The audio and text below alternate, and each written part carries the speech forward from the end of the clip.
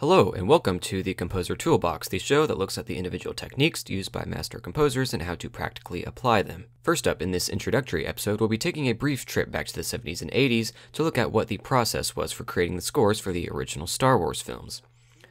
Now, although the first film I will be looking at in this series is the original A New Hope, the most information available is about The Empire Strikes Back, so the images and documentaries that you'll be seeing are mostly from that film. Now, that being said, let's get right into it. Williams got the job for the original Star Wars film after being recommended by Steven Spielberg to George Lucas after Williams had just got done scoring Jaws. Williams read the script but didn't actually start scoring the film until more than a year later, due to his scoring of the film's family plot in Black Sunday. Until then, Lucas had temped the whole movie with classical music, such as The Rite of Spring for the desert scenes and Dvorak's New World Symphony for the throne room scene. Rózsa's Ivanhoe was used for the main titles, and Bruckner's Ninth Symphony was used as Luke's theme. By the time Williams was brought on board just after New Year's, they had a pretty extensive temp score mixed in with the sound effects. After viewing the film, Lucas, Williams, music supervisor Lionel Newman, music editor Ken Wannberg, and Paul Hirsch quickly spotted the film over the course of just two days, using the temp music as a guide. According to John Williams, the temp track only helped to convince him that the traditional orchestra idiom was right for the film.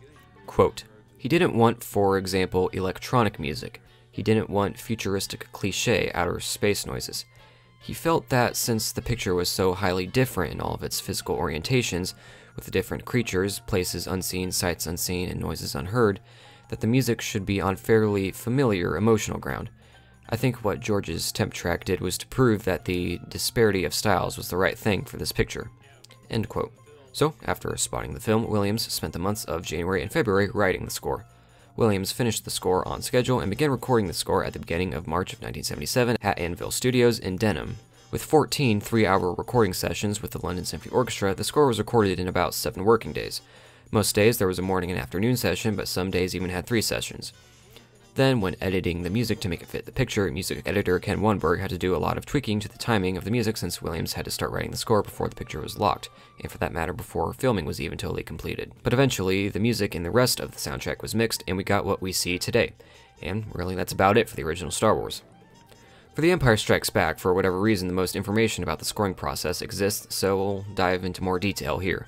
So, when composing, the first thing that Williams would do in the morning is go to the music editor Ken Wannberg, who would give Williams a slice of the film to work on for that day. He would also prepare detailed cue sheets with timings in a fraction of a second. Williams would then go back to his piano and, with various help, write about two minutes of score a day. Of course, due to time constraints, Williams didn't orchestrate his own scores. Rather, he wrote the music and what the orchestration ought to be on this six to eight line sketch score. Uh, don't worry, I'll be making a separate video on how he writes the sketches and his shorthand later.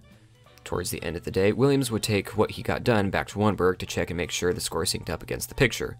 Then, at the very end of the day, he would go over the score with his orchestrator, Herbert Spencer, who would then orchestrate what Williams had wrote that day the next day. This documentary also makes it seem like Spencer was working in the room directly next to Williams simultaneously, which would allow Spencer to ask questions and clear up any confusion easily in relation to Williams' sketch.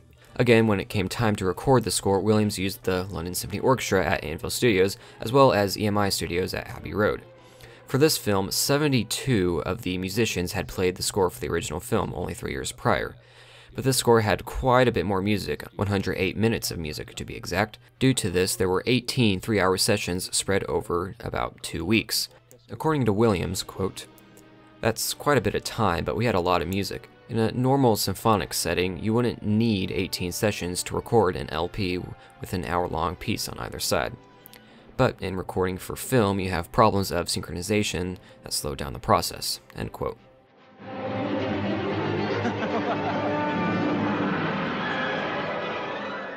During this process, a cue was, on average, rehearsed one or two times, this was sight reading, and then a final recording would be made that was in sync with the picture.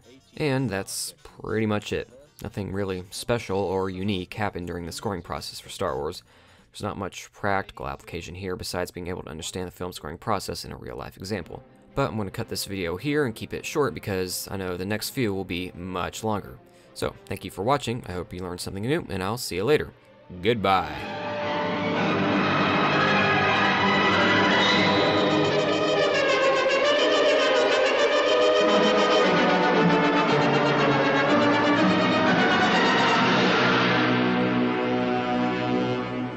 Bravo, gents. Good reading. Good for you.